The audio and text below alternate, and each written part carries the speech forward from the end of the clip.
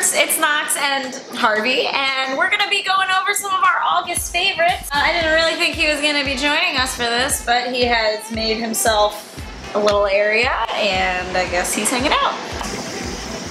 Okay. First, let's talk about Sweatfest, and by that I mean let's talk about Arch versus Texas. This game was awesome, and I'm not just saying that because I'm from Arch and I'm super duper biased. It was just a really great game. Some Arch skaters had, you know, performances of the season. I don't know, that wasn't my words, I don't know. I'm just saying. And it was especially cool because it was the 5-6 seeds, and to have such a point spread, I don't know when the last time um, the 5-6 seed had such a spread. I don't know, someone let me know in the comments. Do you know? Mr. Pouty.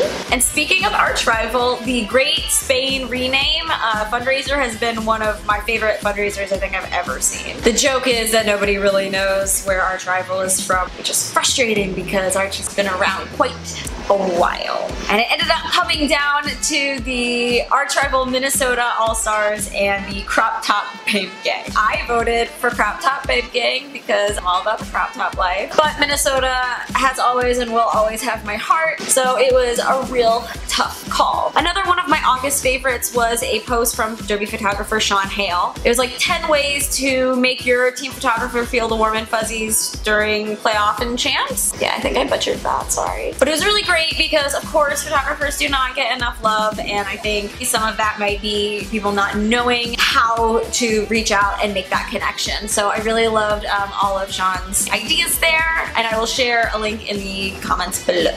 Okay, this one's not totally Derby related, but definitely Derby applicable. A really great tool I've been using a lot this month is Canva. If you haven't heard of Canva, it's a really great, easy to use graphic design tool. They have free accounts, but you can also pay for extra features. Um, I do because I used it for everything. I am not sponsored by them even though I wish I was. I know a ton of people that use them for their bout flyers, social media stuff. They have, you know, all the dimensions preset. It's a really, really great tool. If your marketing team isn't using it, I highly recommend checking it out. Next, let's talk about the Keizu Cup, the WFTDA's first Continental Cup. I didn't tune in, but I was checking up on Northstar because two of my best friends are there. But this is on the list because it's the first Continental Cup. Derby on Toast reported that after just 10 games, all the brackets had busted, uh, which had never happened before. So it's a very interesting and exciting time this WFTDA postseason. And lastly, Moreau Regime lipstick, which I am wearing on my face right now. I've actually worn it in multiple videos. I have posted about it on social media, and if you know me in real life, I